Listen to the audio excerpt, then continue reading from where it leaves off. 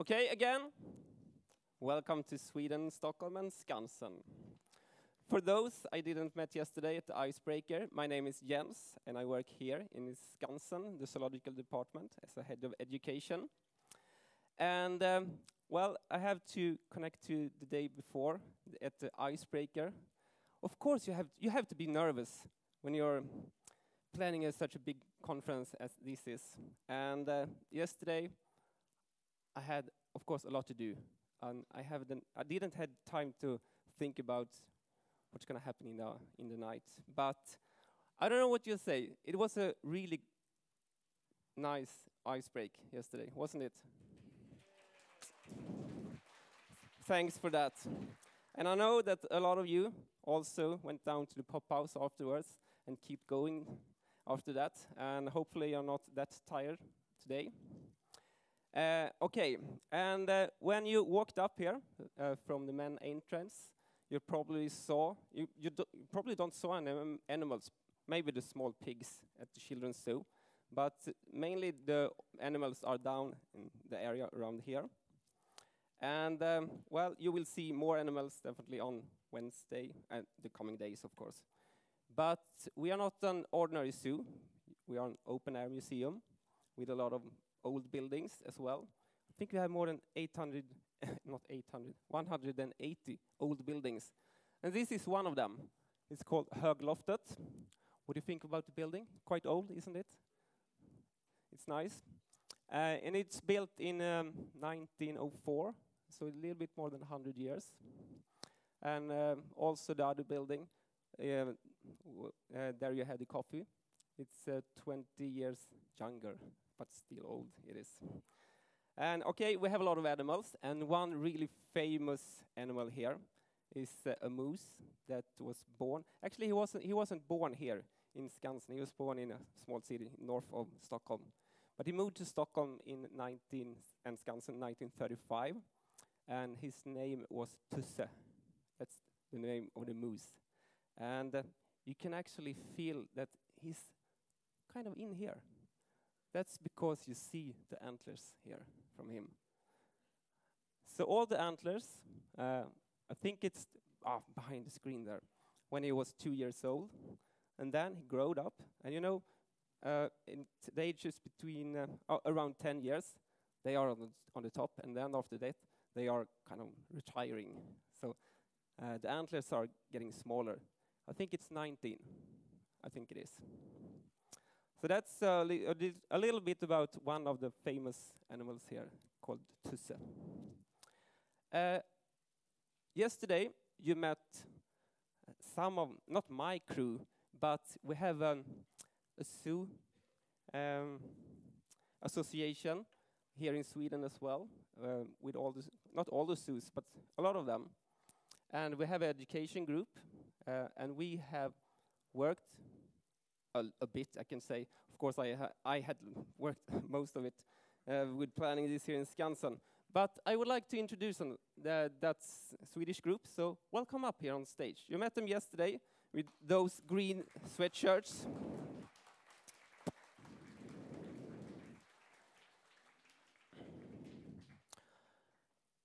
And actually, none of them are working at Skansen, even if they had the green sweatshirts yesterday.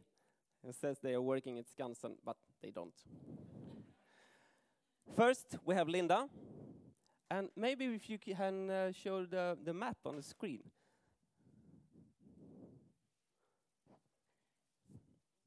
If it's coming.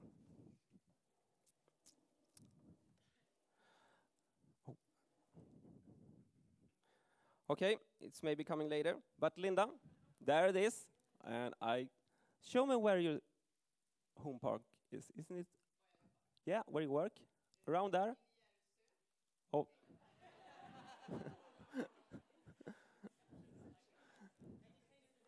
Hi, that's me. well,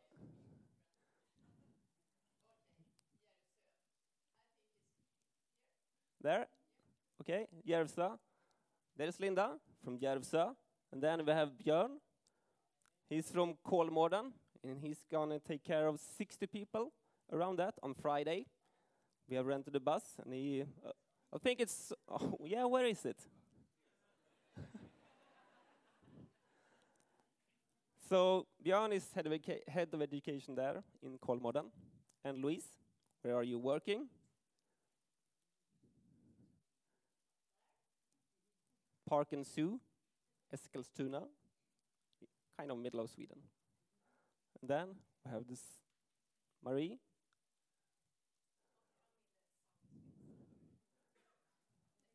Da oh, down there.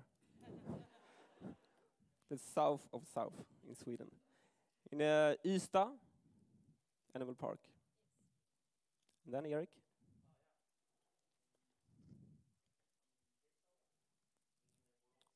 Borås. Okay, thanks. And what about you, Fredrik? Where are you from? Stockholm. You're, okay. He's uh, actually also from Stockholm, but he's not working in a zoo. You're working in a gymnasium here in, um, in Stockholm, uh, Gymnasium. And uh, we have a lot of collaborations with them, and also other schools as well. Uh, you saw Real, Real Gymnasiet, they are sponsoring this a bit. So they are also here. And we have Eva.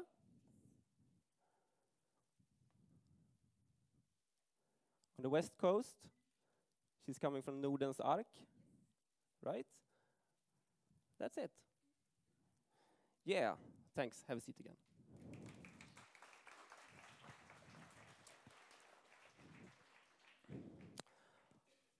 A small things you have to say when you are building like this. Um, the emergency exits are behind me in case of fire or something else.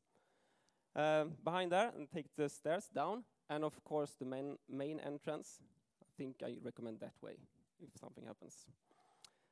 Uh, and uh, something else. Yeah, the workshops. Most of you have already signed up yesterday at the Icebreaker, but it's I, I know it's still uh, some spaces left. So sign up, please, down there, or where is it now, Eric? still down there at the registration desk. Uh, and also there was something about the um, the quest. Uh, we have a question box. Box. Ah, you're going to talk about that. Good. So I think it's time for me to hand over the microphone to our CEO, John Brattmyr. Welcome up. Thank you.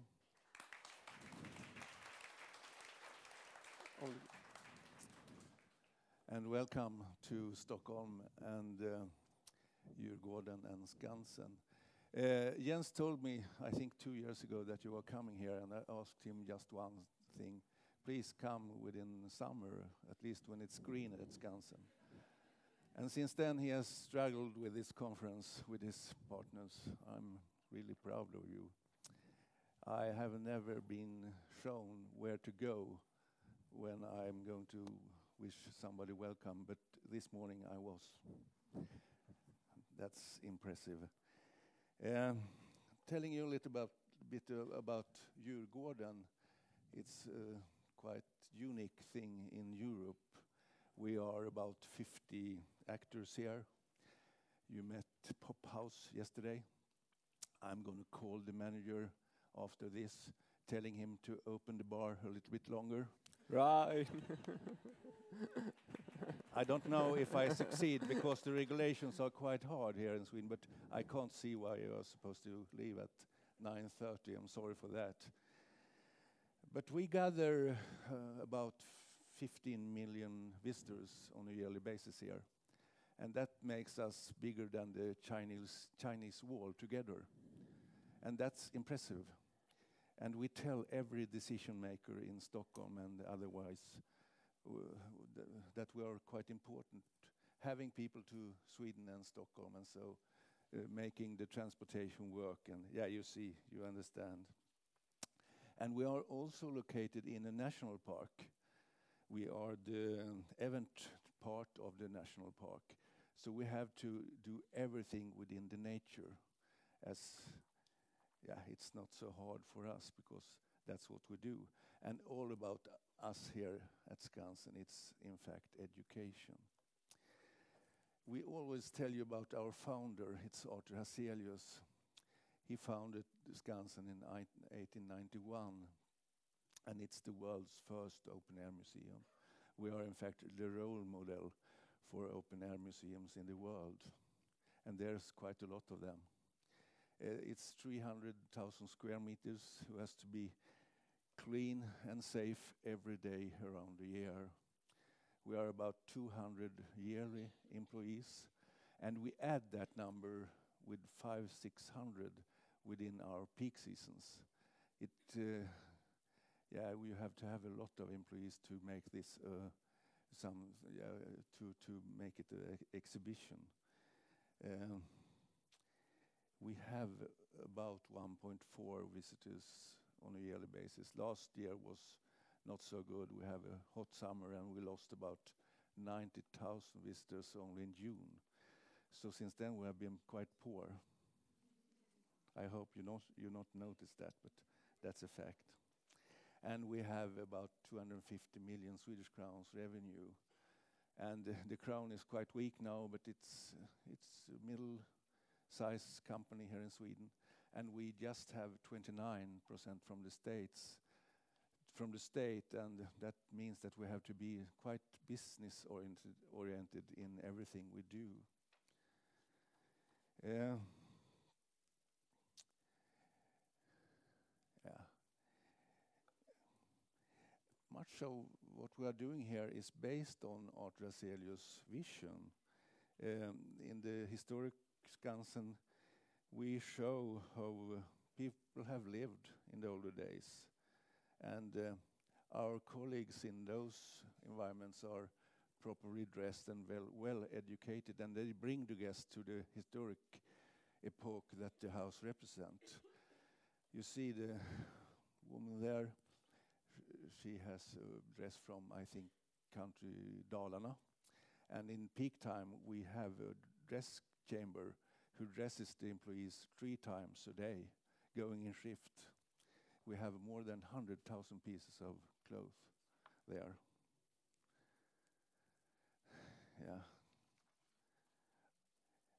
This is my colleagues from the historic department and the zoo department, trying to show how people lived back in time, taking their animals to the summer visit, and we do that several times every summer, trying to remember older traditions of Sweden.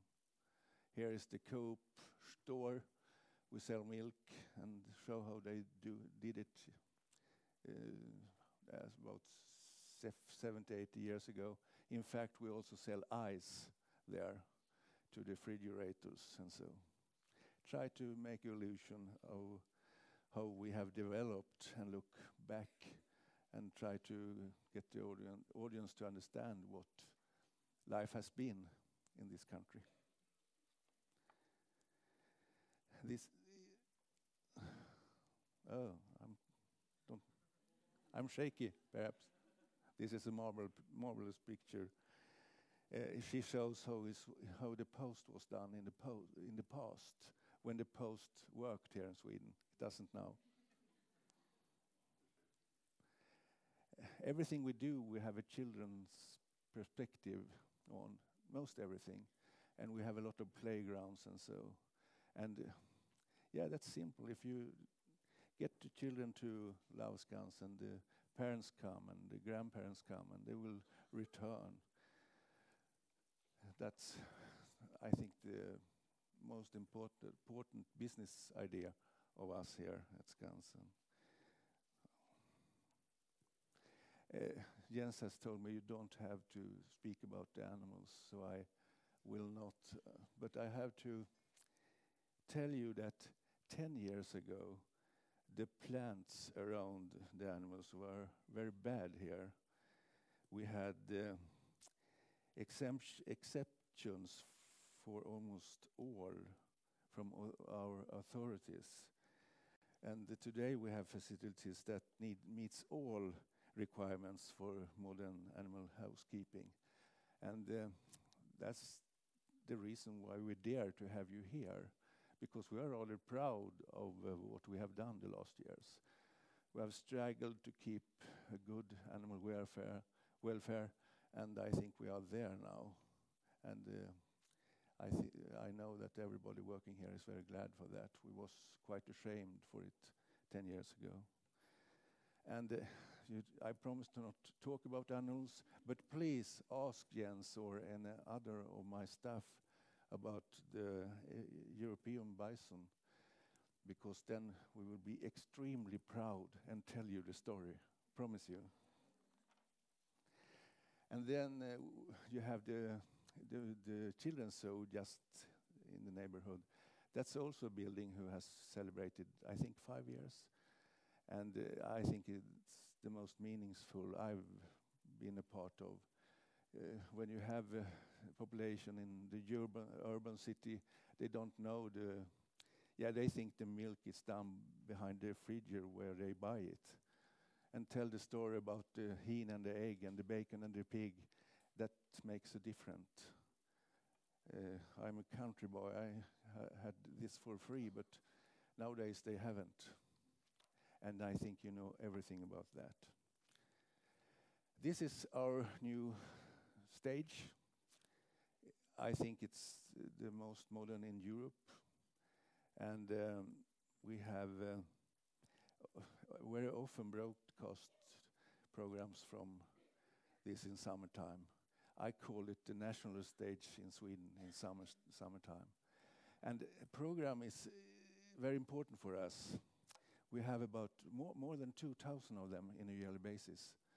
And uh, the most uh, known one is a sing-along contest called Allsång på Skansen. We have, it, had that for 84 years. And uh, that's the most popular TV program also so far but we do a lot there, and uh, we are very glad to have that opportunity. I hope, yeah, you could see it when you have the dinner the day after tomorrow. Um, you you will also, yeah, the green Skansen, as I love to talk about. It's not so green yet, but in summertime it looks like that. And we have flowers and trees from all over Sweden, so even there we are Sweden in miniature. And we try to teach about that too. It's all about learning Skansen. And uh, we have a lot of gardens and so, from the very north to the very south. We also celebrate every Swedish tradition here, and we try to invite the new Swedes to learn about us, how we have de developed, and uh, we are quite su successful there too. We ha have two peak seasons, of course, in summertime, but also in December when we celebrate Christmas every day. So when we go home, we don't want to hear about Christmas and all the food. We have uh, the, the model of that celebration is from 1902. 1902 so we celebrate the market as it were then, and we have about 25,000 guests every weekend in, the, in that program.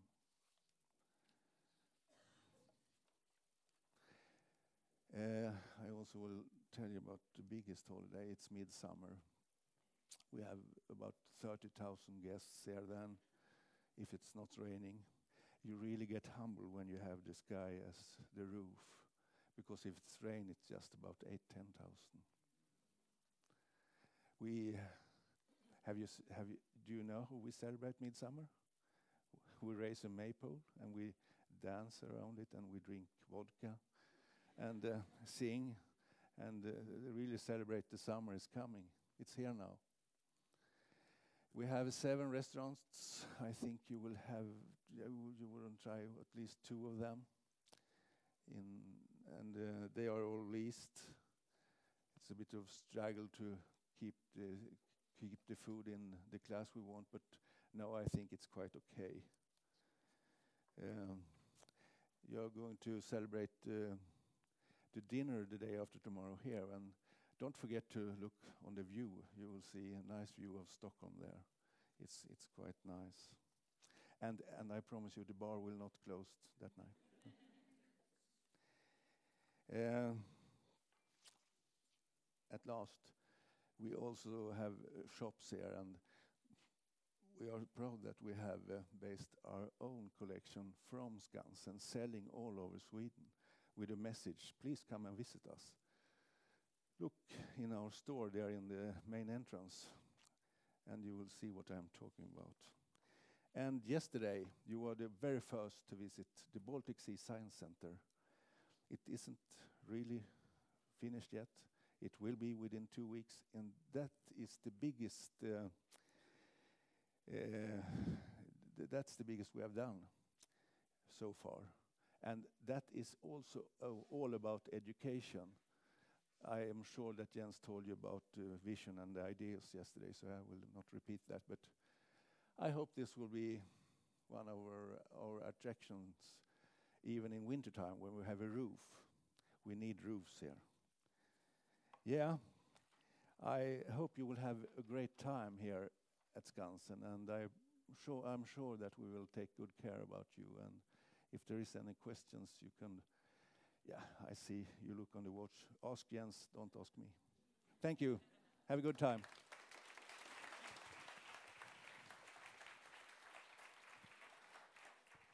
Okay, thanks a lot, John. Uh, now we have learned a lot about Skansen and small things about animals. I promise to tell you more about um, European bison later. And uh, I didn't tell you that much about um, the lessons here in the Baltic Sea yesterday, but on uh, Wednesday, tomorrow it is, uh, we're gonna have um, a walk around Skansen for two hours. So we have four different timings. You will know that later in Skansen, no, Baltic Sea tomorrow. And Anna and Sophia, you met them yesterday, and they're gonna show you around if you want to see the Baltic Sea tomorrow. I think it's time now for Myfanwy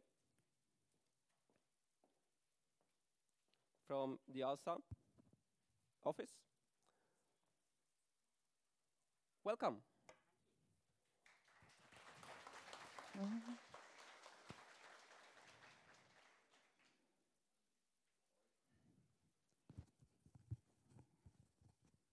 Can you all hear me?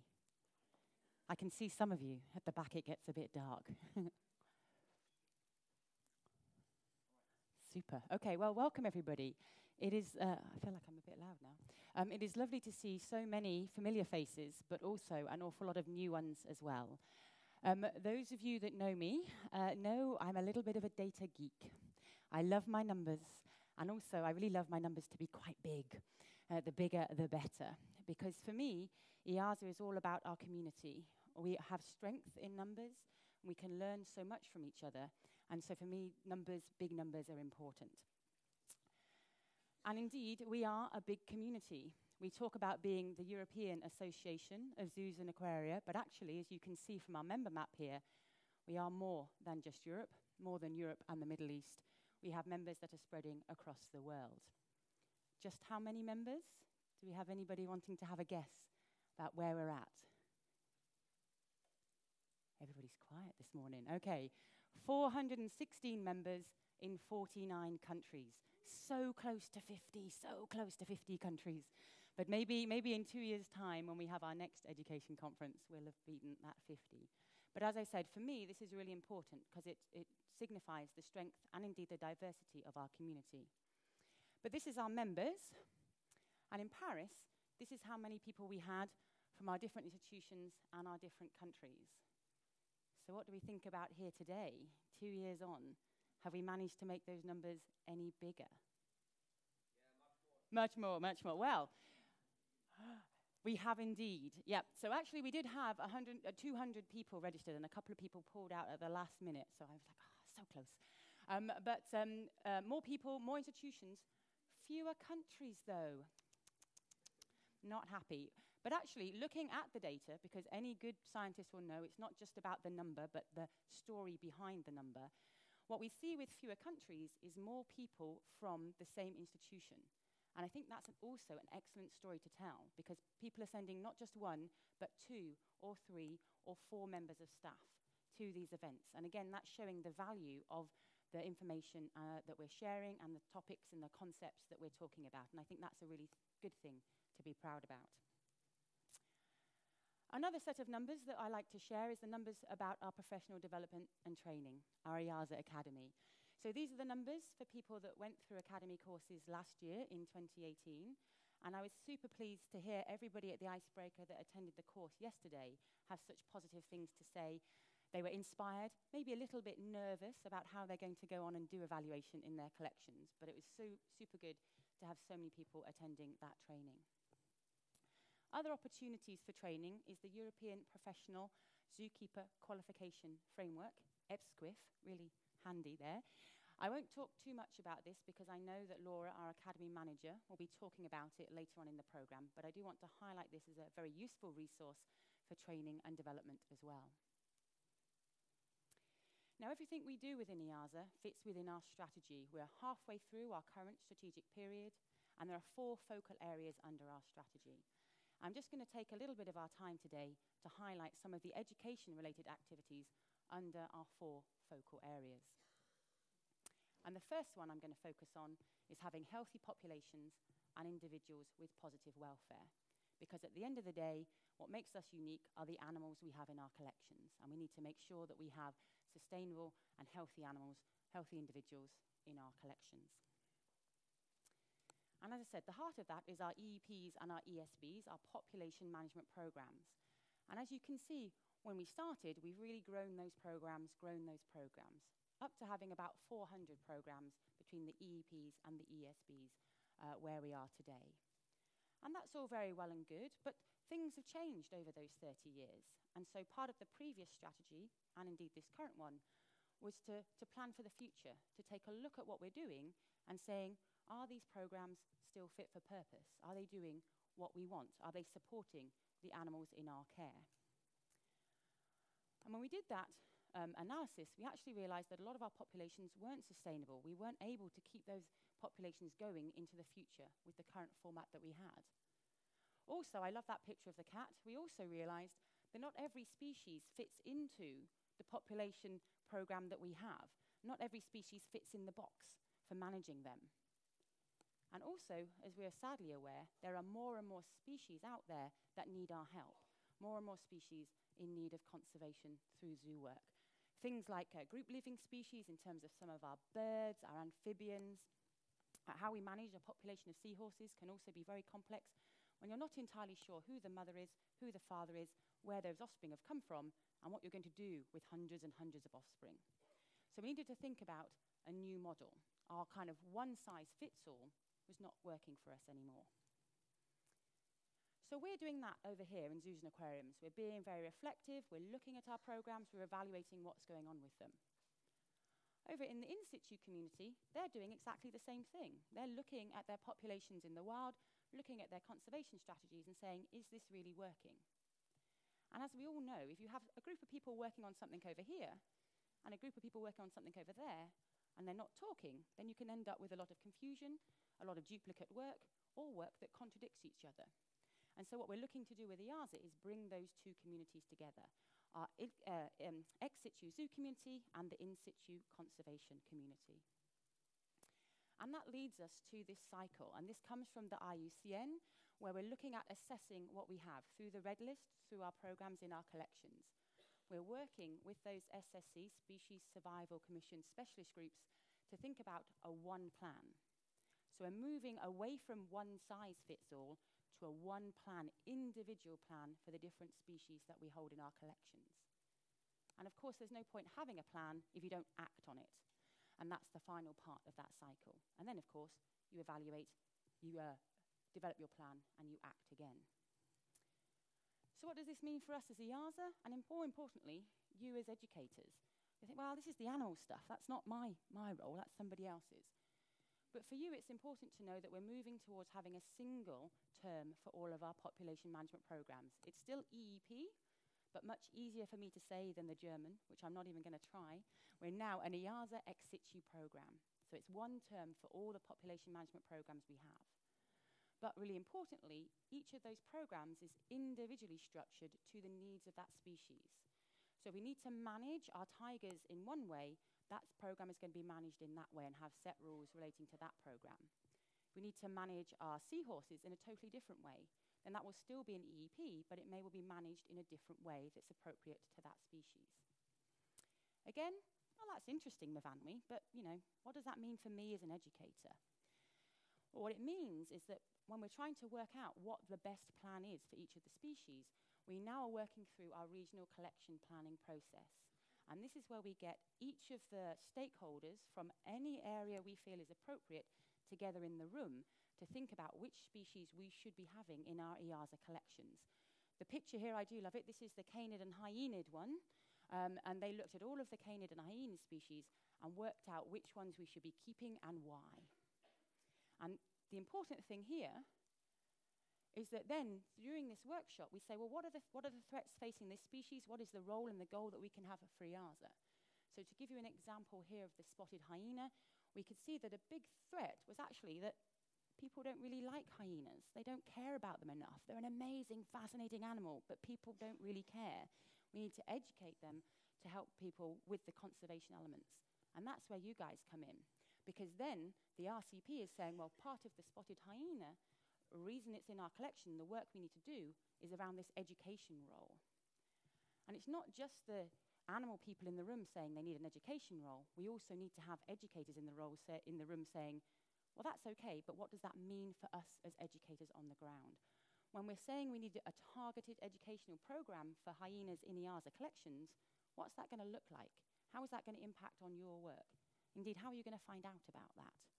And so this is something that is um, important for you, and indeed the Education Committee now has a, a, role within there. I'm looking at Sarah. I don't want to steal the thunder because Sarah will tell you more about that. Nicely linking up our talks there. But that's how our kind of animal population management programs are linking into your work as educators, really wanting to have that one plan approach so that we can all work together to do the best for species in our care. Of course, as educators, you do like information. We want you to have the best and most up-to-date information about species, and we have a whole host of best practice guidelines. These are being continually published on a whole range of species available from our website. You can find out important things about the species biology, how we look after the species, the best kind of husbandry, all useful things for you to use if you're talking to your guests or visitors or developing programs. The other set of uh, best practice guidelines that we have are to do with demonstration animals. And again, this is another area where I'm sure many of you might be involved in presentations or demonstrations with animals. If you're not leading them yourself, you may be talking about them while the keepers are doing those demonstrations. And we have had our general guidelines on the use of animals in, in demonstrations document. And when it comes to EAZA documents, we talk about our guidelines being strongly recommend to do. This is what we would like our members to do with the idea being that our guidelines lead the way for people to maybe change their practices if they need some time to maybe change the demonstration that they're working with. They need to maybe change the uh, physical uh, aspects of that demonstration. They might need to change the company or speak with the company that's delivering that demonstration. But now in our EAZA annual general meeting coming up um, in a couple of weeks, we're proposing that these guidelines become standards. And that turns them into a must-do. Turns them into something that is assessed at our accreditation and members are required to follow. So again, that's really important for you as educators if you're involved in those programs to take a look at the current guidelines, be aware that they're going to become standards and involve them and check that what you're doing is following those standards. We also then have taxa-specific guidelines, and this just adds a bit more information about species-specific elements that might be going on in a demonstration. There's one for felids, and there's one for falconiforms and strigiforms. I like those sort of birds of prey and raptors. And we also have ones coming on uh, uh, marine mammals and elephants and parrots. So keep an eye out on the website for those. They're really useful guidance documents for how we should be interacting with animals in public demonstrations. I'm going to move on to talk a little bit about our, our uh, other focal area to do with representation at the EU and with uh, stakeholders. And specifically, I would like to talk about our two position statements that we uh, published last year. And our position statements are what EAZA thinks on a topic. They're a very strong document for us to use with politicians. Um, uh, rightly or wrongly, or happily or sadly, I suppose, these two are to do with trade, because one of the biggest threats facing species at the moment is trade. We recognise that. We have our current campaign on Asian songbirds, so we have a strong position statement on what we feel uh, politicians and what we feel the situation should be to try and protect songbirds and keep them out of illegal trade, but also another one on tigers and tiger parts coming through Europe as well. And for you as educators, maybe you have some friends that are politicians. Maybe you are involved in that lobby work and you can use these. But they also act as a really useful tool to talk to visitors, to members of the public, to other stakeholders about what EAZA thinks about topics. Or when somebody says, Well, I've heard about something to do with the trade in tigers. What do you think? What's going on with that? So these are documents for you to use as well. And the other political document that I want to mention is our manifesto. We're heading into the European elections um, in the next couple of months, and our manifesto sets out what EAZA feels is important for those politicians going into those elections. What we would like them to do in terms of legislation for biodiversity and animal care in the future. And again, as educators, you might be ready to take this to your politician. That would be fabulous but actually it contains a lot of really useful information about legislation that impacts on biodiversity and where EAZA thinks we need to go with that, and that can also be useful for you. Our, our, third area that I'm going to talk about is about communicating our work, both internally, so we as EAZA members know what's going on, but also externally, so the outside world can see all the fantastic things we're doing. We have an EAZA What's That presentation, a PowerPoint, which gives um, a really good overview of the structure of EAZA, how our committees work, how we make decisions. That's available on our member area. I definitely know that people have used that within their own institutions and at um, other events, meetings like this. So that's a really useful presentation if you're not quite sure how things work or you want to tell other people how the EAZA structures work. Especially, I know we have some uh, uh, zookeeper training uh, colleges and, and universities in the room. This is a really useful one. You can just pull it off and you can use it to tell your students how EAZA works. That's very helpful. Also, we have a range of externally facing short videos as well. One about what is EAZA, and then a whole host of others on different aspects of our programming. These are available from the EAZA website, but also on the EAZA YouTube channel. And then this is what I'm going to look across, because hopefully I can take like a minute 50 seconds to show you the one about conservation education.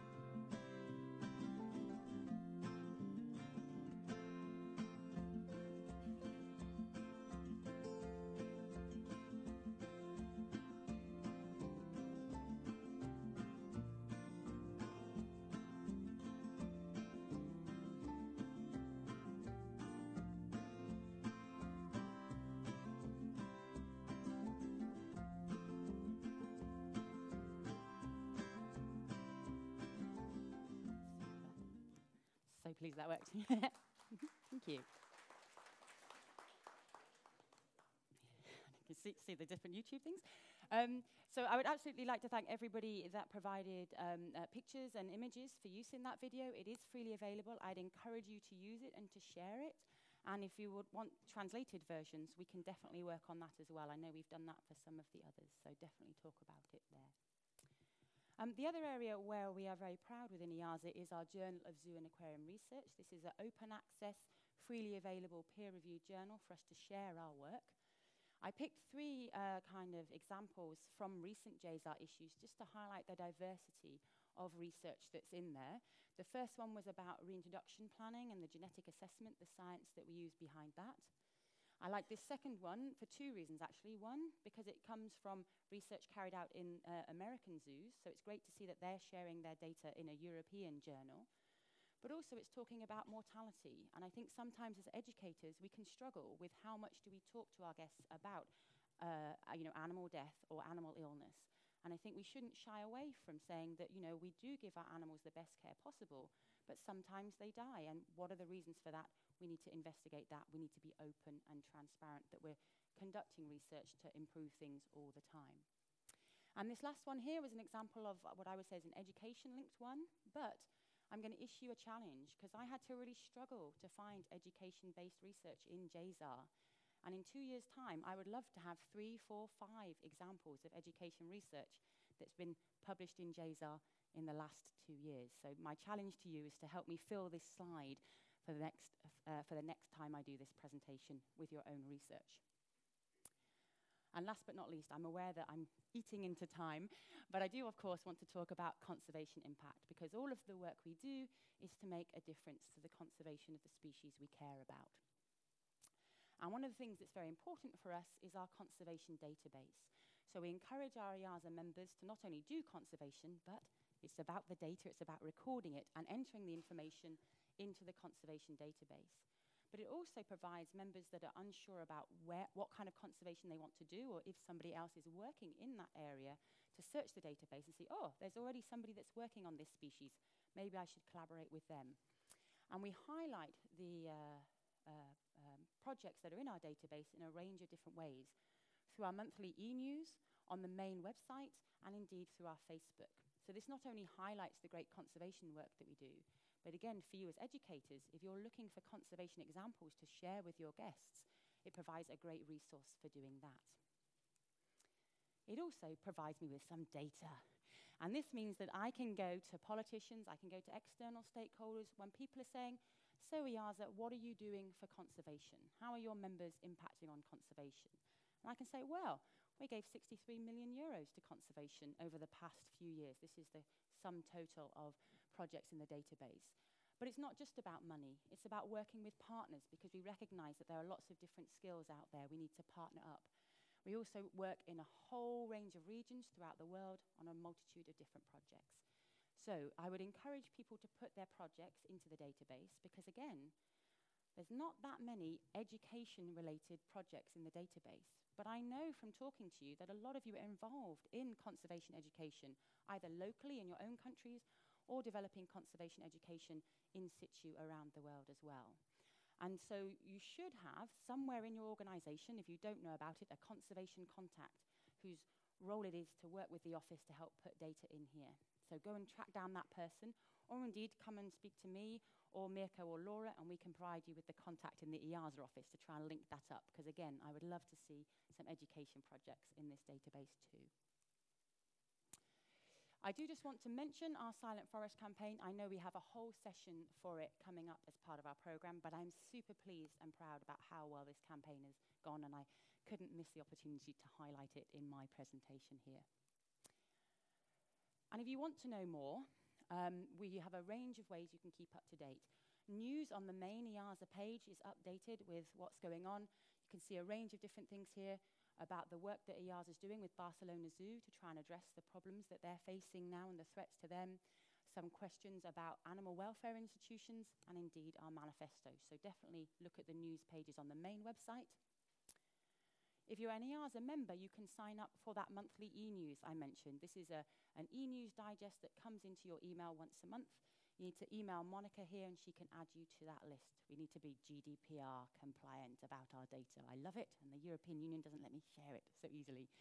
But that is a great way to find out about upcoming conferences, events, those best practice guidelines, what's happening within EAZA. So definitely sign up to the e-news as a member. And of course, we're active on social media as well. Hopefully, you've all uh, liked us and are following us on Facebook. We have a LinkedIn company page as well that you can find information on. And I did want to highlight um, one thing that we've been doing this past year, which is our Discover EAZA members. So once a month, we have a short, um, uh, or rather a long interview with one of our members about an aspect of their work, and we put it into a three kind of questions, discover our members.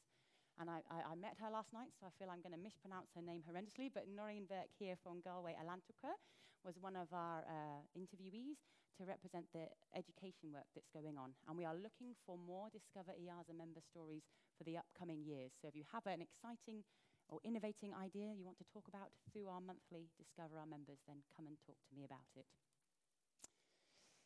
And this is it, the last thing. We've done all this work, it's amazing. But for me, I'm already thinking two years ahead to our next EAZA strategy, because I feel we've done an awful lot in this current strategy. And our current vision is about being the most dynamic, innovative, and effective zoo and aquarium membership organisation in Europe and the Middle East. And for me personally, I think we're there. I think we've achieved that vision. I think we're pretty awesome as EAZA. The faces in the room here demonstrate to me your interest in being awesome, in being part of EAZA. And what I'd like to spend the next couple of days with you thinking about if we've achieved this, where do we want to go next? So I look forward to hearing your thoughts. Thank you very much.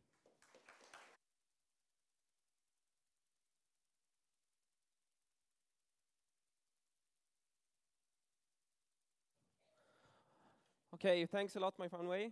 Um, now we know everything about EAZA and how it works. And uh, I think we have to hand over directly to Sarah. And uh, sorry to say, Sarah, but you have 15 minutes now.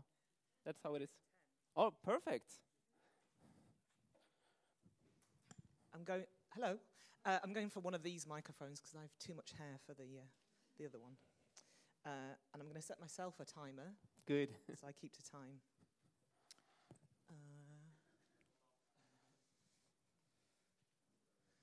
Brilliant. Well, good morning, everybody. Um, I'm Sarah Thomas.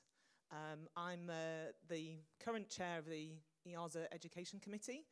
Uh, I'm a freelance conservation consultant, but I did want to say my thanks to Norden's Ark um, because for the last three months they have given me institutional support to be able to um, carry on my duties um, uh, for the Education Committee, and one of the big duties was to organise this conference, so thanks very much.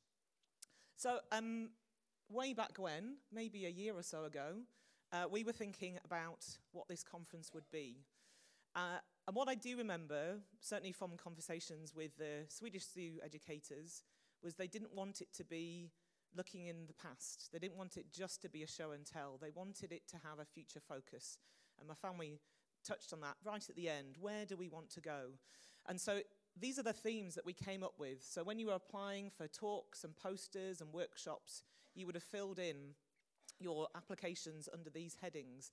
And it, it really shows how far we've come in the last few years in terms of uh, looking at the Sustainable Development Goals, looking at standards, looking at a whole host of different aspects of conservation education. Uh, so I'm really pleased that we're here.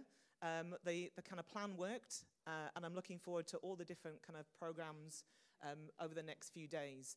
One of the other things we did decide was um, we had so many people who wanted to speak that we went for lots of short talks instead of a few long ones. So I'm really sorry you only have seven minutes to, for your presentations, but there's so much great stuff going on in Europe that we wanted to make sure that um, kind of came through.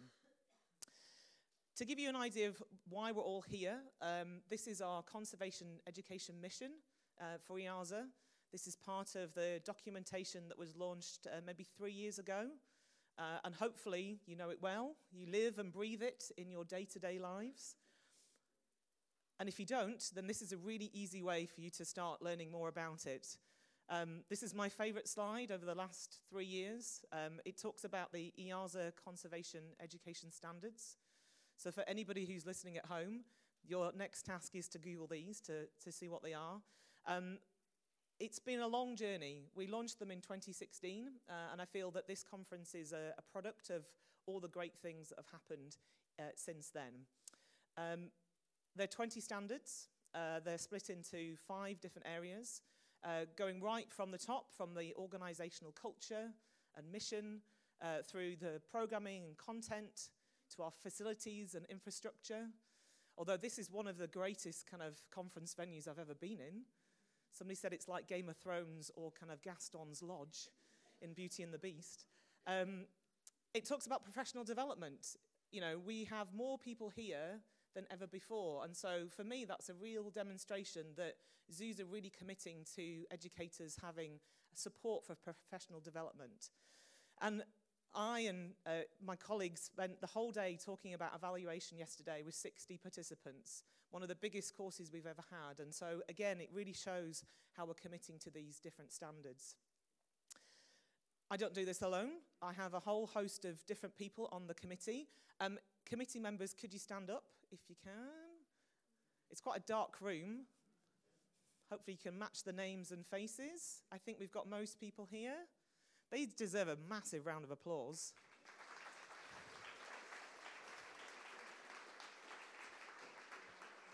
Thank you. The way that uh, EAZA works, it has different um, baskets. So you've got different regions, and so we make sure that uh, we have each region represented equally. Uh, and so there's different roles and responsibilities, there's different actions we can do. And we did mention a new person, so Steve is here. Give us a wave, Steve. There he is. So Steve has a, a brand new role. We've never had this role in the committee before. Um, and it really is to link up the conservation education, you educators, to the animal collections, to the animal staff. And so um, he has been recently appointed. I know he's got uh, discussions, an open space, hopefully, uh, tomorrow, and also wants to talk to many of you about how he can be more involved in the regional collection planning and the long-term management planning for a variety of different species. Uh, Myfanwy mentioned the hyaenid tag, and I um, helped out with some discussions in the EAZA conference at Athens. And we had great conversations about how we could join up all the different zoos that have hyenas and what kind of messages we could have. And so I've got great hopes for Steve and the kind of work he's going to be doing over the next few years. Uh, there are some changes to the committee, so you can see there's a few spaces. Uh, Maria, where is Maria? There she is at the back. Maria's going to retire from Barcelona Zoo. We wish you well, Maria. Um, and we've also had Amy, who stepped down because the Let It Grow campaign has finished. And you'll see, there I am at the top. And for the next three days, I'm still the chair of the Education Committee, and then I also will be stepping down. So if any of you want to be more involved in the committee, there'll be some spaces, opportunities, and hopefully in the next few months, we'll get some news out about how you can be more involved.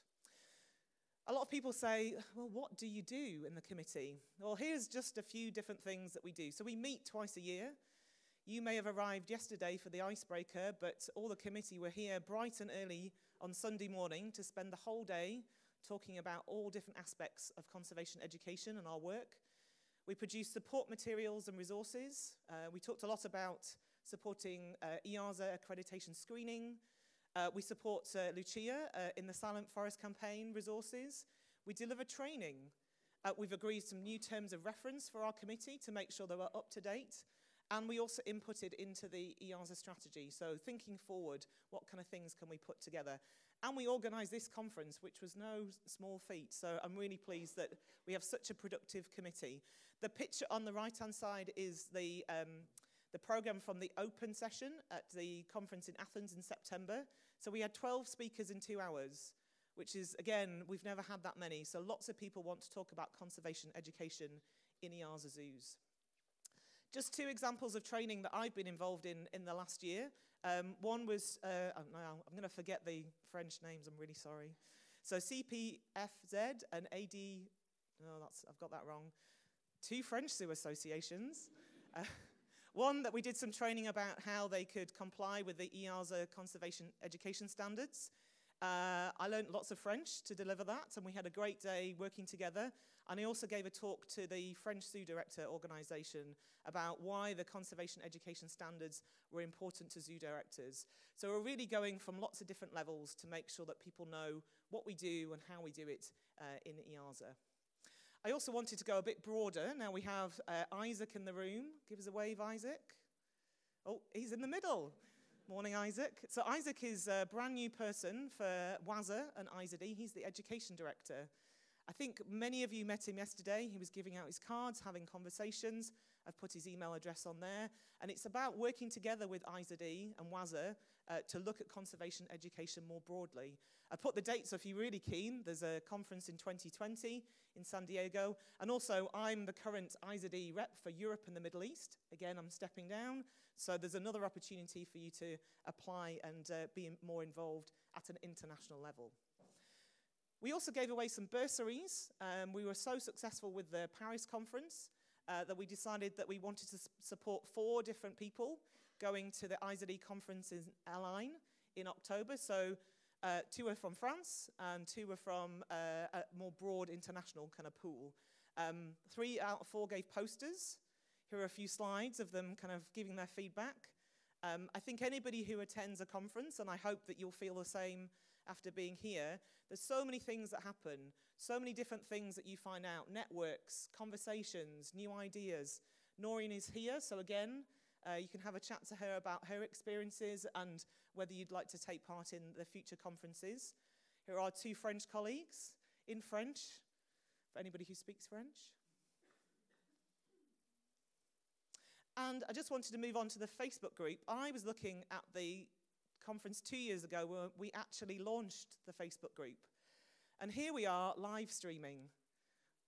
And I put this morning, we had, because I checked it, 1,044, but I also uh, let in about six more people before we started.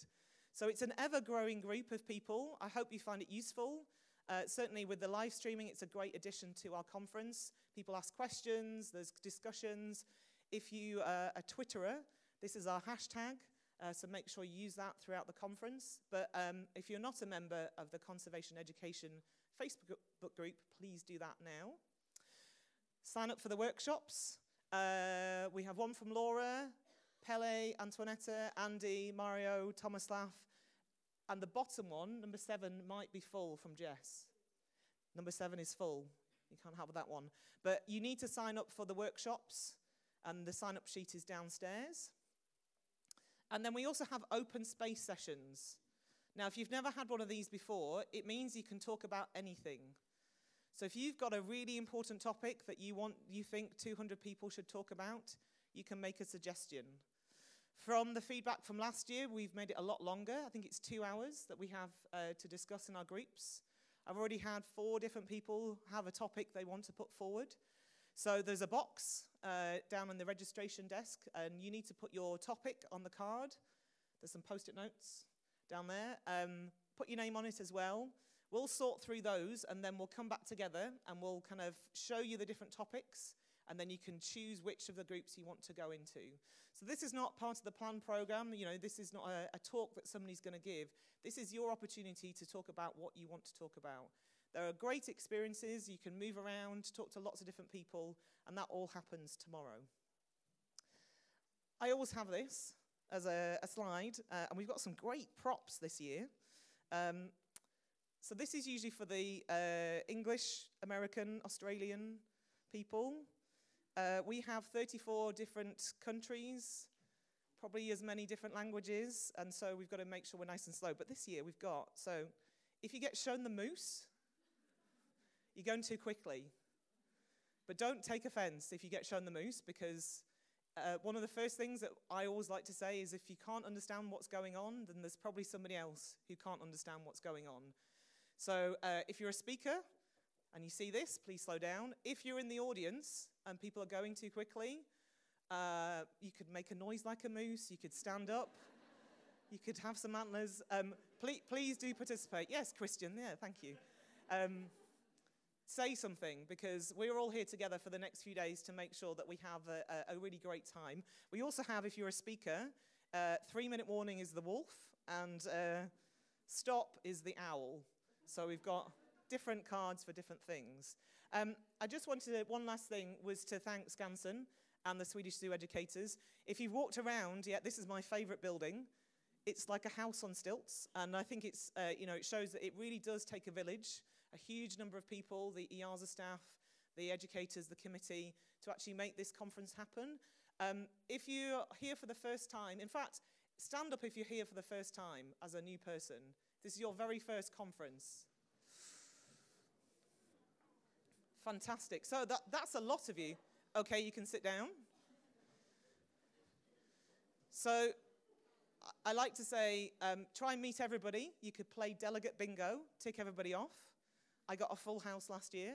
Um, if you see somebody on their own, go and talk to them. If you've been here before, go and make friends, talk to as many people as possible. These are, your opportunities to have great conversations with fellow zoo educators. So I hope you have a fantastic conference, um, and I will probably see you at some point later today because I'm on every day. Thank you very much.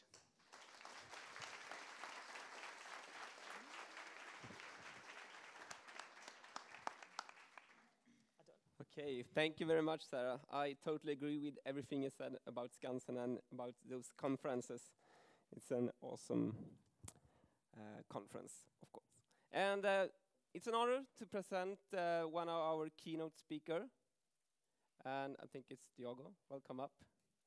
I think you will present yourself a little bit more later, but I know that you start working in Lisbon Zoo. Well, he's not listening. He started working in Lisbon Zoo as educator, but now he's not working there. He's doing something totally else. All right, here we go. And Yes. you will explain that for the audience. Thank, Thank you very much. I appreciate it. Can I get that maximized? Yeah, the corner, the corner. Yeah. Um, if uh, just at the corner.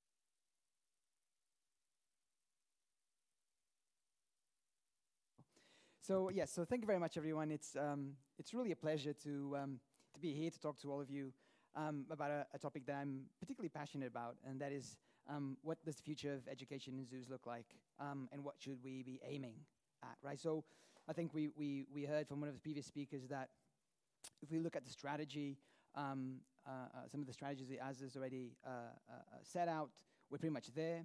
What does the future mean? What are we aiming to achieve? And so I'm going to hopefully you know, try to give, give, give out some thought-provoking ideas so we can all think about what does, what does this look like um, in, in the future. And so, yes, my name is Diogo Verissimo. Um, I have the both pleasure and um, um, duty to represent these two institutions, University of Oxford and San Diego Zoo. Um, and so, without further ado, I'll just give you some sense of what my presentation is going to look like. So I'm going to have four parts. One is going to be a little bit more towards the past, not too much of that. Second bit, more about the present. The third and fourth, thinking about setting out what the future might look like. Um, and, and I'm trying to make sure that I'll have enough time for, for questions at the end because I think really that's the value, the value of us being all here. Otherwise, you know, we could just look at each other's slides or, or, or tweet at each other or something like that. So, um, you've already heard it today. Um, what makes zoos unique um, is, is the animals, right? It's, it's in the zoo word, right? The clue is in the word. Um, and so um, it's really about the animals first. And I'll, I'll start a little bit of with a little bit of my, my own personal story of what connects me to zoo education. I started out um, as an educator at 17 in Lisbon Zoo, um, and it was really uh, an, a, a, at that age having my first job in conservation that really shaped my uh, my ethos, my way of thinking, and really this this perspective of putting people at the center of of, of conservation. And and as I spent a number of years there, about six years, um, it sort of made me th- really think about what what what what what are zoos actually for? What what is what is the role of a zoo? And um, in this presentation, because I still feel much part of this community, I'm, I hope you allow me to use to use to, to speak as we, as, as as part of this this same group, because I still very much feel part of, of the community, even if I'm, I haven't been very active in the last few years. So, if you've been to Lisbon Zoo, you wouldn't guess it necessarily, but Lisbon Zoo is about 150 years old, just a little bit under that. Um, and Lisbon Zoo, as many other zoos, has a historical legacy. And that legacy is um, a reason for us to be proud, but also presents challenges. Challenges like the fact that many of the enclosures that were designed 50, 60, 70 years ago were not up to the same standards as we today think of when we think about a zoo, when we think about a park that has animals inside. Um, and so, of course, if you go today to Lisbon Zoo, this is not what you see. You, the picture is very different. The picture is something like this. Right? So it's very much the paradigm is shifted. The enclosures where the animals are, very different, clearly geared much more towards the animal and the well-being of the animal, less towards this, the visitor-centric experience. So things have changed dramatically. Even in, even in just the, the 20 years since I first started working there and today, differences are staggering. Now, at the same time, while I was uh, at Lisbon Zoo, I was 17, 18, I started learning about EEPs. Um, and one of the things that I thought was really incredible was the amount of work that went into them. But not just to work in terms of labor, just work in terms of the, the science, the technical aspects, just the management, all the genetics that went through managing these populations. It was really an incredibly technical world, right?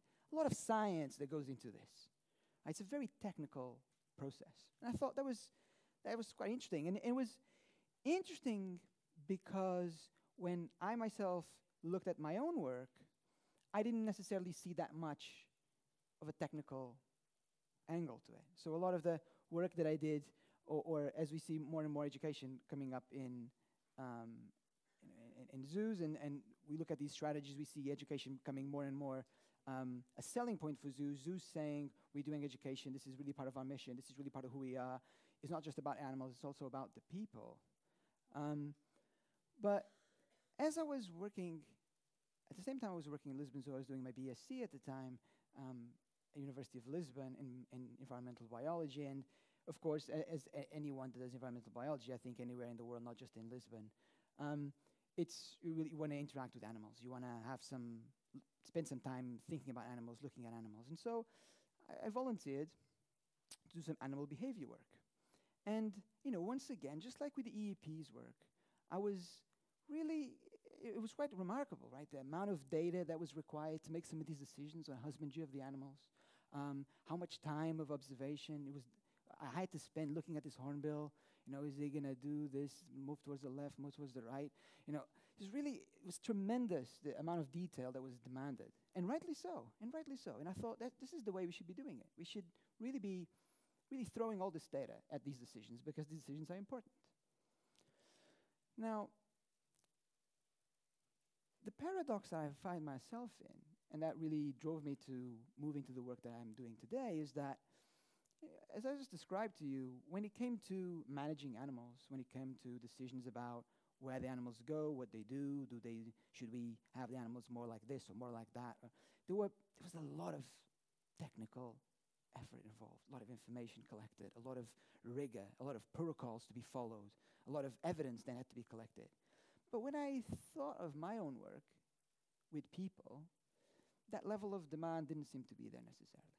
A lot of the time, I would talk about my own, my, my own work, and I would reflect on it, and I would say, oh, you know, I think this is probably going okay because the children look pretty happy. Or the parents said that they really enjoyed, you know, they talk about the rhino all the time now. Or, or this kid said, oh, this is the best afternoon of my life. Right? And, and I sort of went, okay, I mean, that must mean that we're doing things right. right? But that's a strong contrast with all the other work that was going on and some of it that I was directly involved in. And that's really, really brought me to the path and to the, to the um, reflections that I'm hoping to discuss with you all today. So really, I guess my question is, why are we treating people and animals when they're both part of zoos, the, the mission of a zoo. We both say that this is both, these are both objectives that we have. How, why, why is it that there's such big differences in the way that we treat both of the sides of, of the coin, right? Um, and I think more even so, if we think about why species go extinct, right? So that, that graph over there is a, just a, a simple um, shows you some data on extinction causes and number of species or percentage of extinctions that are driven by the different causes. Now, you know, can anyone tell me which of these four is not immediately linked to behavior, to human behavior? Anyone? Can anyone name one of those four that is not linked to human behavior? Yeah, I think I think that's fair because because they're all they're all deeply connected with the decisions all of us, the 7 billion people on Earth, make every day. Right? And so, recognizing that, recognizing that species go extinct because of what people do, it seems clear that, if anything, we need to really, um, thank you, we need to really, um, really give the people side of the equation just as much effort and as much data and as much evidence as we give all the other parts of the work that the zoo does.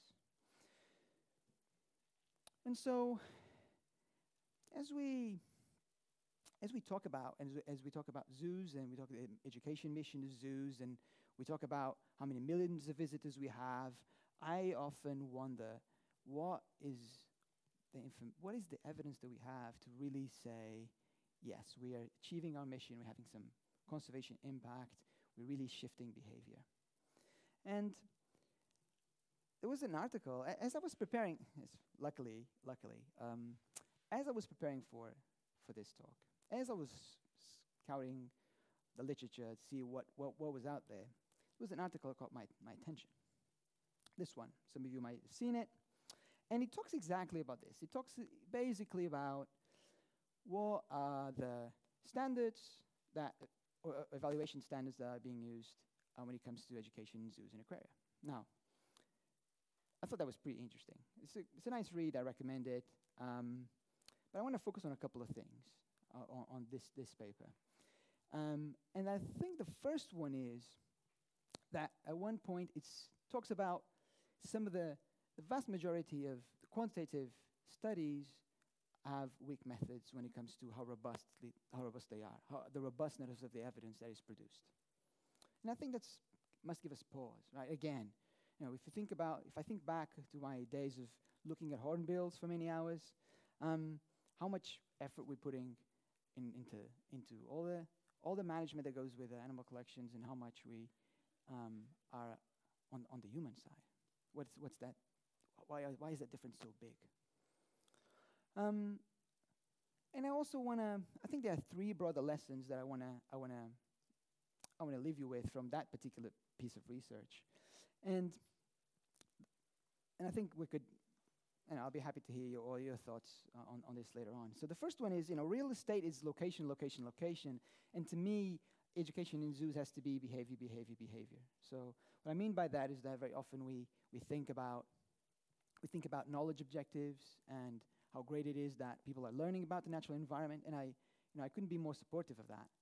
Um, but I think sometimes we have this um, perception that uh, knowledge works a little bit like this. We give people information um, because they know the tiger's in danger, then they, they're going to change their attitudes towards the tiger, and that means that they're going to change their behavior and they're not going to perform a certain behavior because they now understand that the tiger's in danger based on this information that we gave them.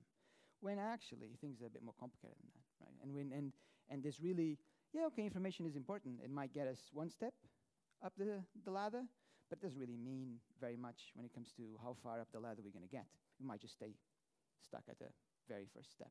And I think that's important to recognize, right? So I really want to, I think we, we should be focusing a lot more on that, that side of the equation, um, because that's really where, where the impact is, right? So when, when, when changes manifest themselves in the real world in the form of behavior, things that happen, people doing something, that's when we start seeing impact. Everything else, you know, it's really great that people have positive attitudes, and uh, of course, what perceptions people have are very powerful, but only once they manifest themselves in the real world as an act of some description, a behavior of some type, can actually deliver improved conservation outcomes. And so I think that's one thing um, I, I want to reflect on. The second thing that I thought was interesting was how, um, and, and I I understand the appeal. Right? Zoos have millions of people. And that, that's a big number. A million, many millions, many zeros to it. It's powerful, right? Uh, you know, even, even for someone like me who's heard it many times, every time I hear it, I, it gives me pause. You know, wow, I mean, really can, can make a difference. But I always thought was, I know, ironic that if we go through a lot of these um, studies that are reviewed in uh, the article that I show you, a lot of them use very quite, quite small samples, right? So how does that translate? How do we translate between some of the research that's done that has that actually uses quite small groups groups of people, and then the millions of people that we have th coming through our gates? So there's a discrepancy there. Um, and I also think it's important for us to realize uh, what, what, what it means to work with a representative sample of our visitors versus with a very specific group. So very often we have situations where, you know, research is done with very, very specific groups of people. And that, of course, doesn't translate into the many millions that go, go through the gates, right? So we cannot necessarily make a, a link between what we find with very, very particular primary school children in Paris um, to the millions of people that go through the, the entrance of the zoo every year. And I think that also weakens our argument. Also means that we're not as ready as able to say, this is actually what we're delivering in terms of impact. And uh, I think lastly, uh, the point I wanted to, to, to, make also a broader point around cause and effect, right? So cause and effect very often, and, and this, this is not something that, none of these things are, are, things that are just specific to zoo education. I want to highlight that as well. These are challenges that come, I come across in other areas that I work with.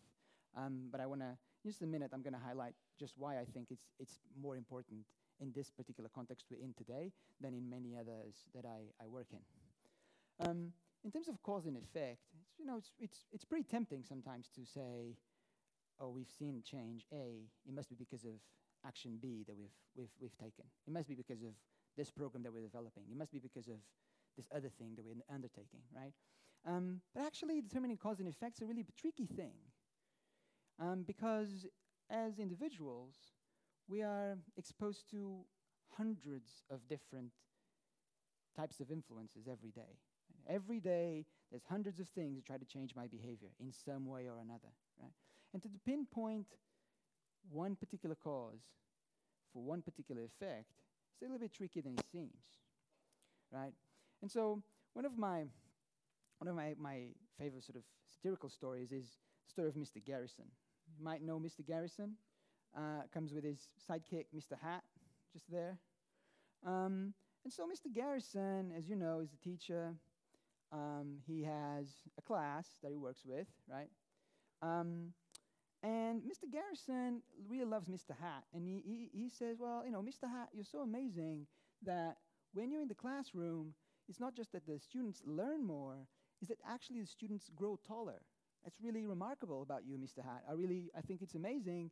And so what I'm going to do is I'm going to do some research to prove that Mr. Hat is incredible. You know, it's just that incredible. It's just really amazing, right? So what Mr. Garrison does, he takes the students, right, at the beginning of the year, and he measures their height, um, and then he goes back uh, at the end of the year, and he measures the students back again, right? And what does he conclude? He concludes that Mr. Hat is amazing because the students all grew, right? That is the power of Mr. Hat. Now, of course, you know, this is a little bit of, of satire just to say that, you know, with one of the one of the key things that the study shows is that pre-post experimental designs are very very popular in the way that zoo um, education is evaluated. But of course, things like that lend themselves to easily to um, to be to, to, bias, right? So if you're going to be serious about, you're going to be the extra extra extra mile and really being able to pinpoint what the cause and the effect of the programs that we're doing, we need to go a little bit further. We need to, I think, go a little bit. Um, a little bit of extra legwork. Um, and, and that could be as simple as having a control group, right? A control group that's comparable. Many of us work with schools, for example, um, thinking about what are the groups that, if i am working with 10 classrooms, maybe I'll work with five first and then second one. And that allows me to use the second group as a control for the first, if they're staggered in time, for example. Uh, there are multiple strategies, and I'll go back to that in just a minute. So yeah, so causality, I think it's something else that we all need to think about, right? Not just documenting the changes, but then being able to pinpoint and say, yeah, this changed. We know it's changed. The change matters. And guess what? We have reasonable evidence to, to say that this is driven by the work that we do.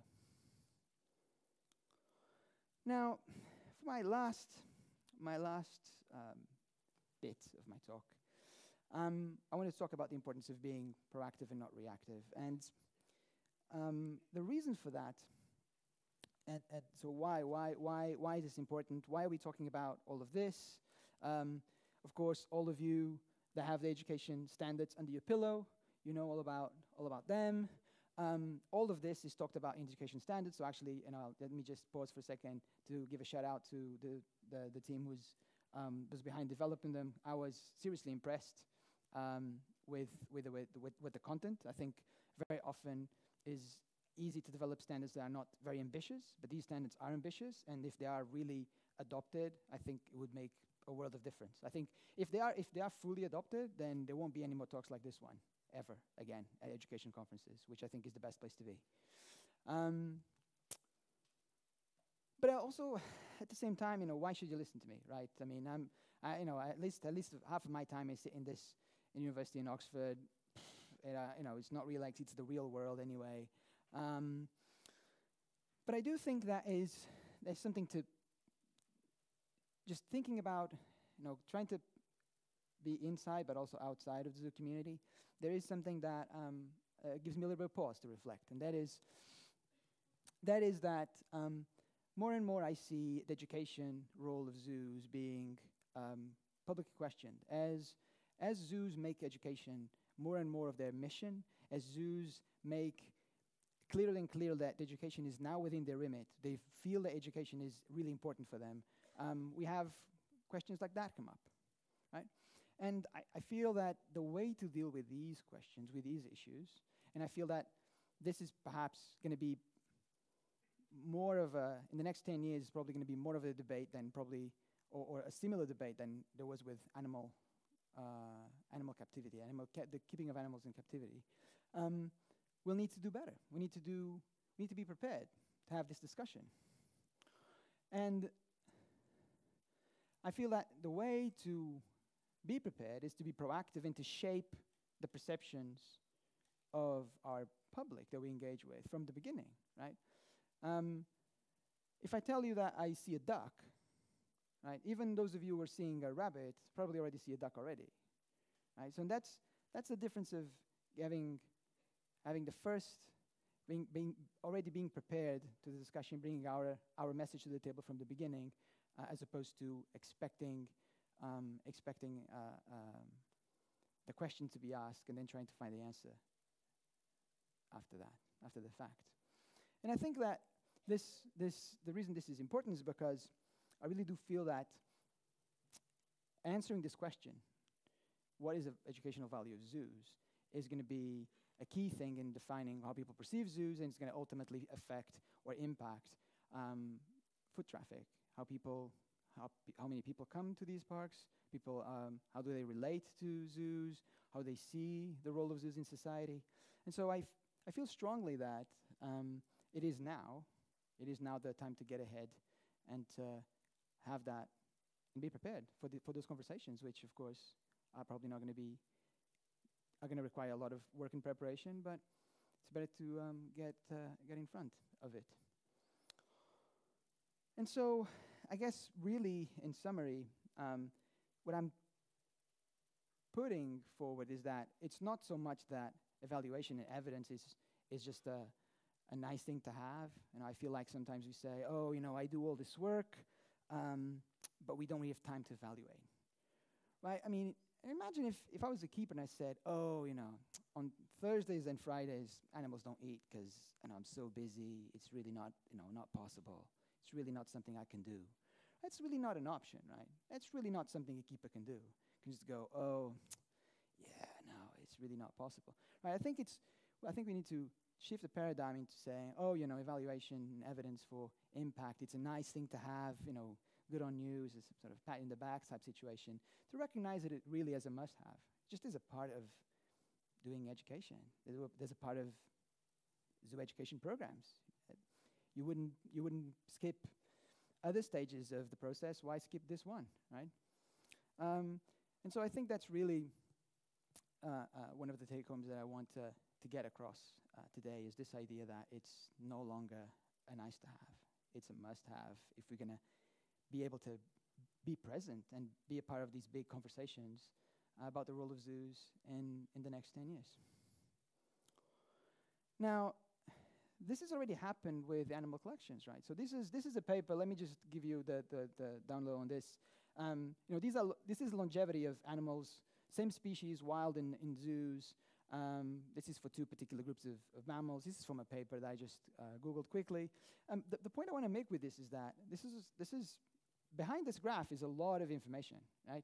number, average number of year, mean number of years that different animals from different genders survive in captivity in the wild, right? This is not about how many belly rubs the animals get or how excited they are in the morning or any sort of, no, this is hard number of years living type indicators, right? So in the same way, you know, I think we can, if we, if we think about how far zoos have come in collecting all this information on animal welfare, collecting all this information on survival rates, collecting all this information about the animals and to ensure that, they're given the best possible care, then all I'm saying is that we need to follow the same route with all the work that we do in education and interacting with visitors and driving behavior change.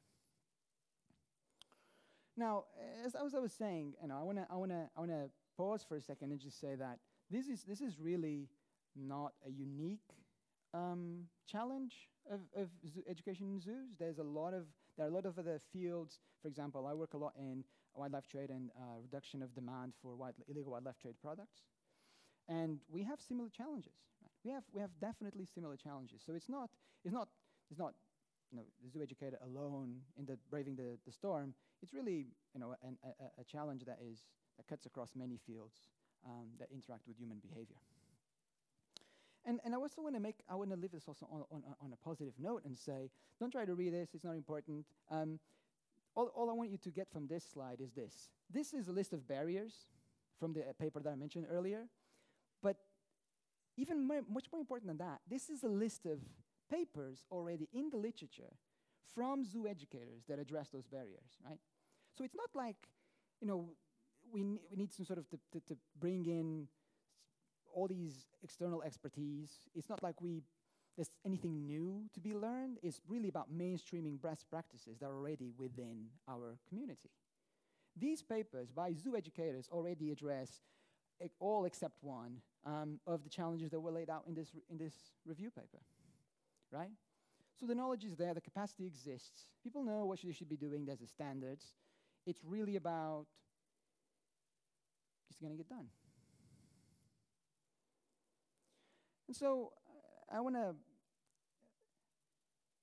finish with a story, or, or, or, almost finish with a story. Um, and that is that, um, you know, there's this story, uh, apocryphal, apocryphal story about Julius Caesar and his wife Pompeia, um, where um, at one point in Rome there was this rumor that Caesar's wife had met with another man. And uh, Caesar went and he divorced her on the spot. Right? They divorced, he divorced her immediately. Now, she was tried for adultery, and Caesar was called to come to the court, and the judge asked him, "So, okay, so um, you know, what, what, what, what do you know about this story? What, what is your, what is your version of the facts?" And Caesar just said, "You know, actually, I know nothing about this. I have no idea what happened." And the judge asked him, "Why, why would you divorce your wife if you don't know anything about what happened?" Why, why would you do that? And he said, Well, for the wife of Caesar, even just being a suspect of something is bad enough. The, the wife of Caesar should not even be under sus- uh, any kind of suspicion. Right? And that's what I want to get with that is that if we want to get evidence that re- resonates outside of our own community, well, I think we're going to have to do a couple of things. And I'm going to give three things that I think we need to engage with in order just not to produce information, but produce information that can actually resonate outside our own, our own community. Because, of course, and all of you experienced much more than I have, some of these debates are adversarial, right? So it's not just about producing uh, information that the community can believe in and that we can all take on board. It's really producing information that can be taken outside, um, and we can can can be seen and perceived as robust, believable, strong. So I think one thing is, um, I think one process to take advantage of is the, the peer review process. I was really, really happy that EAZA now has a um, open access journal, uh, which also a great name, JZAR, right? Which is which I thought was was a great great choice. Um, I think that's going to be a, a, really important thing to um, to interact with. Um, those types of of um, those types of, of outlets or those types of channels. And this is because the peer review process does, does mean that you can present the type, this type of knowledge with a different sort of authority. Um, so I would encourage you all to, um, and, and, and I, I do know how, how incredibly morose and how burdensome it can be to interact with journals and go through peer reviews and all of that. But I do think we need to think about, again, getting ahead of the curve and how the information that we present is going to be perceived outside of this room. And that's one relatively, well, I shouldn't say painless, but a way of, of having that seal of guarantee. I mean, the other one is thinking about interacting, and this is all in the standards, which I'm you know, excited to report, um, thinking about interacting with third parties like academics. Because for us, and now I'm taking off my zoo hat and putting on my academic hat, um, for us, our interest is really in the process, not in the result. And that means that we can contribute in different ways from someone who's, of course, very as vested interest in making sure that the program is a success, right? Interacting with a third party, someone who's independent, who can think about it more impartially, can be an important, an important contribution. Um, and also, universities all, all around the world have students that need to do uh, work, thesis work, and that can be an important resource as well. And of course, um, very much making sure that the, the work is done is shared with other, other institutions, with other colleagues, and outside of, outside of, the, um, of the zoo world. I was um, very, very happy to hear that one of the articles that was selected by um, Myfanwy was one of the was research about something that is not necessarily a great discussion topic, mortality of animals in zoos, right? And this is the same thing when it comes to education. Changing human behavior is really difficult. Invariably, there will be things that don't work out just as we would like as we hoped they would. And that's okay. That's, that's a normal thing, and that's expected. Um, and I think that's another, this, having this open sort of sharing and ability to talk about things that necessarily maybe don't necessarily exactly conform to what we expected will give a lot more robustness to uh, the available evidence, right? Because one of the things that I'm always critical about conservation work and behavior change work in general is that we have this sort of dystopia where everyone is succeeding all the time, yet the problem still remains the same, right? Which is an, an unusual situation to be in. Which, of course, then asks, asks the question if we know we're not succeeding all the time, what happens to the information of the things that are not successful, and what does that mean about all of us as a community, right? Um, of, cons of conservationists. So I think this, this sharing of information really is really is something that um, that will uh, increase the credibility of, of all of us as a community as we move forward. So, le the last thing I want to say um, is that one of the roles of EAZA that I see is the supporting of providing support in the application of these standards. Of course, standards set out what the what the ideals are, but how do you make that actually come true? I think that I see a lot of organizations that share similar programs? Is there potential for um, EAZA to help to support the development of evaluation techniques and instruments and practices for some of the most common programs, for example, and really help kickstart some of this initial, um, some of this initial work, um, which of course would have the even added uh, strength of not being done by a single institution, but being done by a multitude of institutions, which of course means that uh, whatever we say has um, can be much much stronger. And so I think there's something there to think about how we how we make sure that this steps from the standard, which I think are a really wonderful place to begin. How did that how does that then uh, get scaled up from individual institutions to the to the big collective? And so, so if you remember only one thing from everything I've just told you, um, let it be this. Um, I really feel that education and the ability to justify and to provide evidence for the educational world of zoos is going to be one of the things that's going to define uh, how society perceives zoological parks in the next 10 years. Um, the way to approach this, in my view, is not so much by ignoring it and waiting for that for the issue to come to us again, it's really by gathering the information and being able to answer, having a ready answer ready whenever this knocks on our door and say, actually, you'll, you'll find that this is the evidence that we have, this is the difference that we're making. And just like if you go back 50 years to Europe's zoos, you would have images like this, which now have become things like that.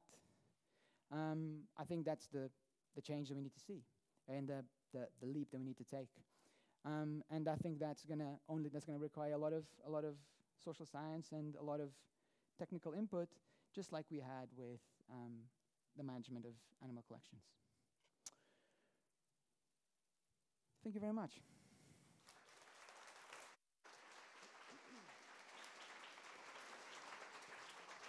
Thank you very much, Diogo. I have to say something. I remember one more thing from you. That's the story about Mr. Greg and Mr. Hat.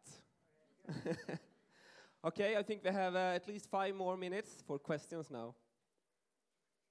So where are all the questions? I have two microphones.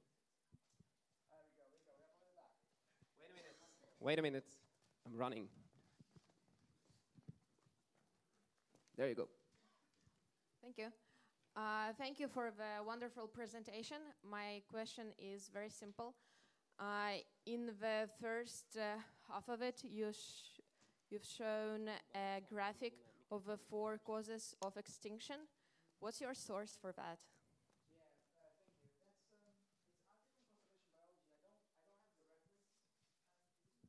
No, no. Oh, it is now. Yeah. So sorry. That's an article in Conservation Biology. I don't know the title off the top of my head because I've been using it for so long. Um, but if you drop, if you give me your card, I'll fish out the reference for you. Great. Yeah, thank sorry, you. it's not a great answer, but hopefully, yeah. Sorry.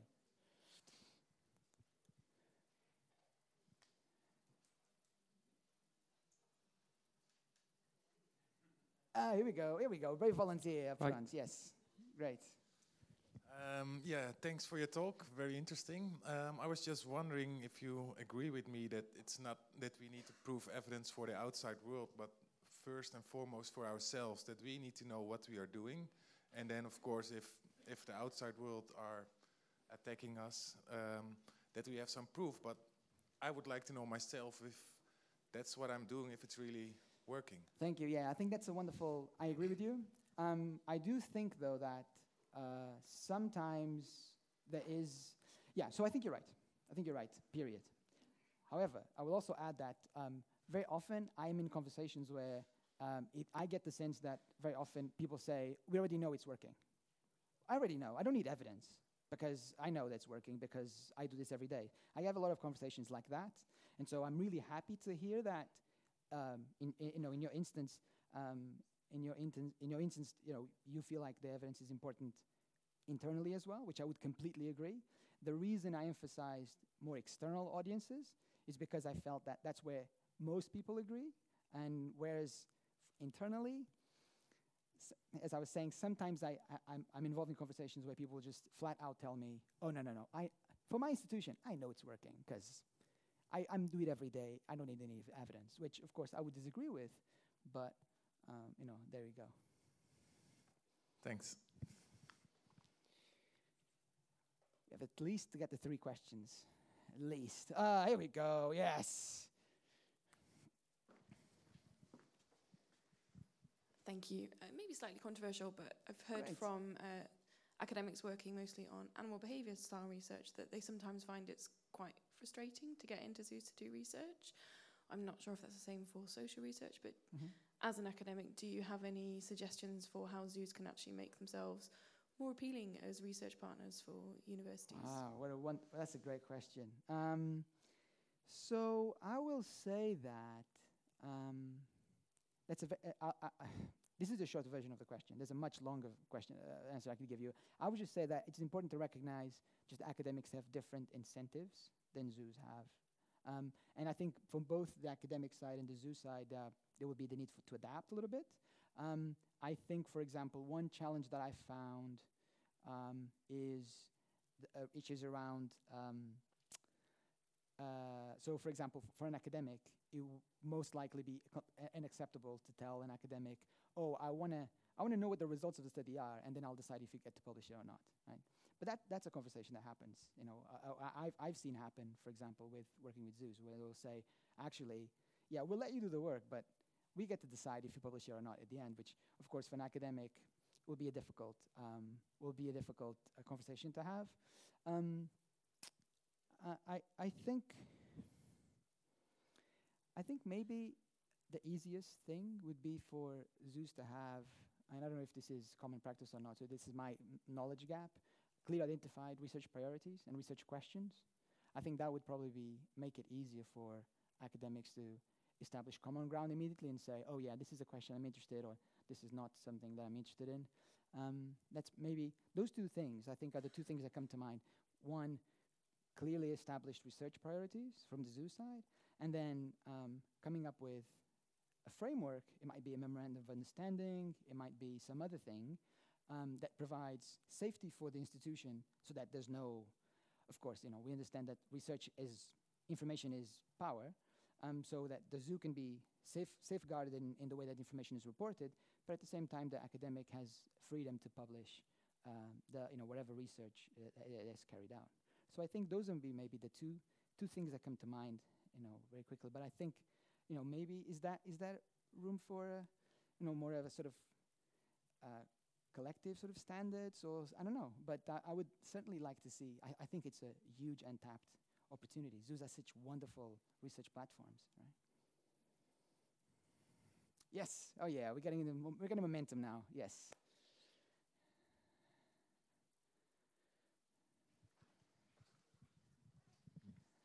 Thank you so much. Um, from your presentation, there is one thing that really struck my mind.